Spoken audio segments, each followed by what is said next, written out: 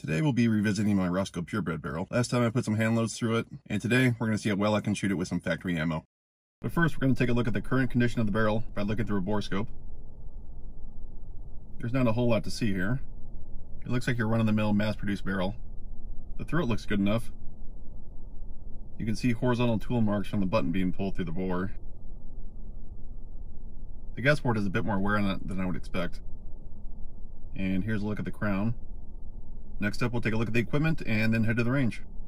The barrel was fitted into an inspected upper receiver, and the barrel nut was torqued to 40 foot-pounds after greasing the threads with Aeroshell 64. A bolt from Sionics closed on a no-go gauge, so I swapped out the BCG with one from Classified Defense, which closed on a go gauge and did not close on a no-go gauge. The handguard is free-floated. A 3-inch bag rider has been attached to the handguard to fit the front rest. Short screws were used with the bag rider to avoid contacting the barrel. An A5 receiver extension is installed with an A5-2 buffer and Sprinco green spring. The trigger is a Geissele 2-stage super dynamic 3-gun trigger. 10 rounds were fired prior to shooting this first group to foul the barrel and zero the scope. The scope is a Vortex Viper 6.5 to 20 by 44. Scope ring torque was confirmed at 15 inch pounds. Magnification is set at 20 and parallax is set at 100 yards. The barrel will be cooled with a chamber chiller between each group.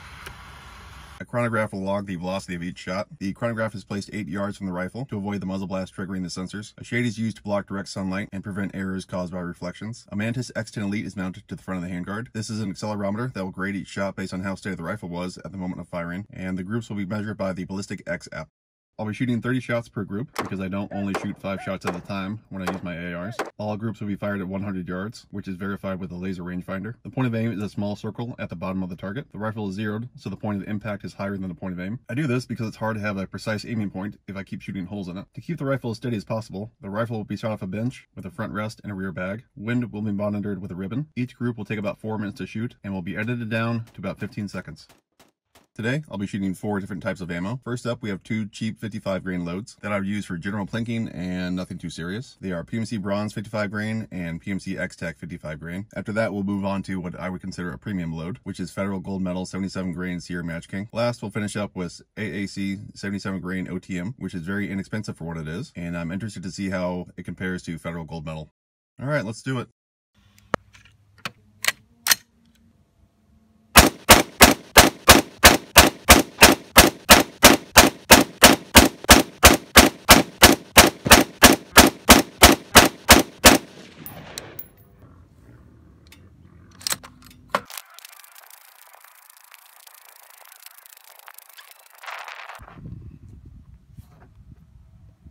And here's a close-up of the group as well as the individual data points from the, from the Mantis and the chronograph. The data is color scaled so that the highest values are in red, middle values are in white, and low values are in blue. The bullet holes are marked in the order that they were shot. So hole number one was shot number one, and hole number 30 is shot number 30. So if you're so inclined, you can match up each data point with each shot. All right, and here is the main takeaway info. The velocity was 2826 with an SD of 32. Mean radius was 0.88 MOA and a group size of 4.1 MOA. And next up we have PMC X-Tac 55 grain.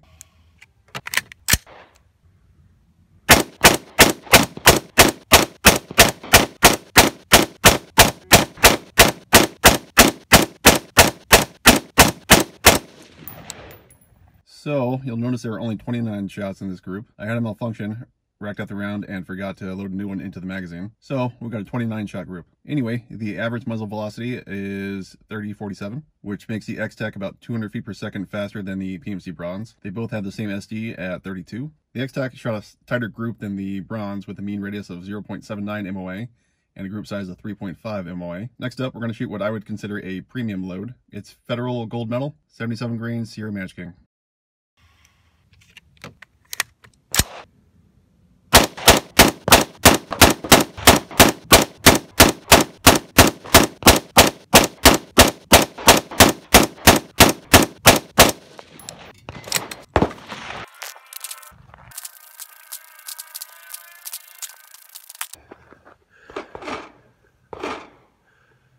Federal coming in with a pretty good looking group. Average velocity was 2439 with an SD of 11. Mean radius was 0.44 MOA and a group size of 1.5 MOA. For an off-the-shelf barrel with factory ammo, I'd say this is a pretty excellent group for an AR-15. And next up, we'll see how this compares to AAC's 77 grain OTM.